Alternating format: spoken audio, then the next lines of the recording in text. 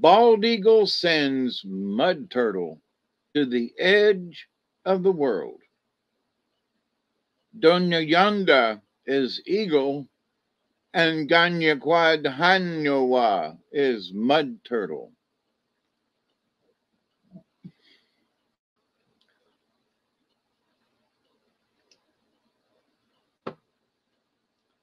Once upon a time, a bald headed old man lived on the top of a mountain. And his wife and three children lived near a lake about halfway to the summit of the same mountain. Each day, the old man went down to fish in the lake. On his way home, he stopped and gave some of the fish to his wife, and thus they lived, they lived well and happily.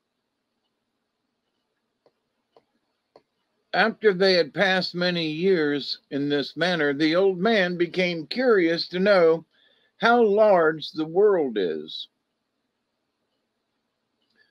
Being chief of his people, he called a council and said, I want to know how large the world is. I wish some man would volunteer to find out. One young man said, I will go and find out. Very well, said the chief. How long will you be gone? I can't tell, for I don't know how far I shall have to travel.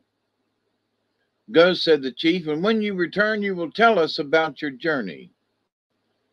The young man started, and after traveling two moons, he came to a country where everything was white the forest, the water, the grass. It hurt his feet to walk on the white ground, so he turned back. When he reached home, he notified the chief. The chief said, I don't believe that there that he has been to the edge of the world. But I will call a council and we will hear what he has to say. When the people were assembled, the young man said, I did not go very far, but I went as far as I was able. And he told all he knew of the white country. The chief said, We must send another man. They sent a second man. He was gone four moons and returned. The chief called a council and then asked, Did you go to the end of the world? No, said the man, but I went as far as I was able to go. Everything was as it is here till I came to the white country. I traveled two moons in the white country and could go no further. I could not have lived had I continued my journey. The chief sent a third man. He traveled farther than the second man, then came back and related that there were people who lived in white houses and dressed in fur. The chief was encouraged and he sent a fourth man. As the man traveled, he noticed everything he crossed white rivers and white lakes and was gone eight moons. On his return, he said, I came back quicker than I went, for I came a shorter way and reached the green land sooner than I would if I had come on the trail by which I had went. The chief sent a fifth man. He crossed the white country and beyond that he found a place where there was nothing but rocks. He climbed very high, then went down, and so he went up and down till he wore his moccasins off. He was gone ten moons and came back. At the council called by the chief, the man said, I passed over the white country, crossed rocky places, and then came straight home.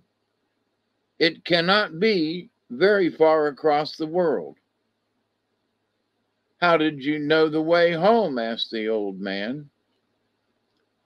As I went, I noticed the trees. The tops of the hemlocks lean toward the east, and our home is in that direction. So I followed the bend of the hemlocks.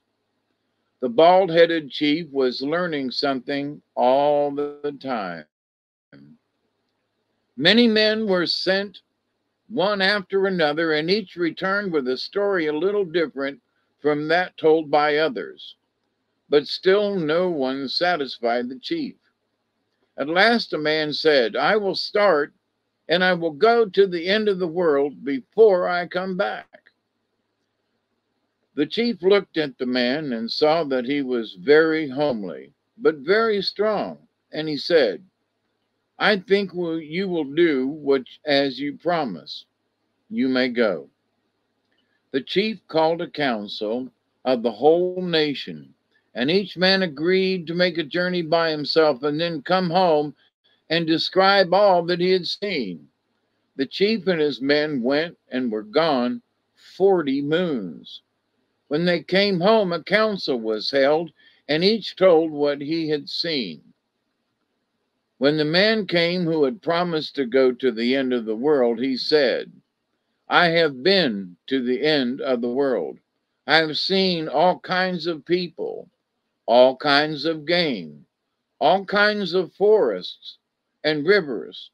I have seen things which no one else has ever seen. The chief was satisfied. He said, I am chief of all the people you will be next to me. You will be second chief.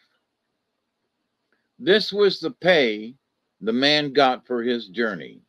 He took his position as second chief. Old Chief was Bald Eagle. The first man sent out was Deer. His feet were tender. He could not endure the ice and snow of the white country the homely man who went to the end of the world was Mud Turtle. The end.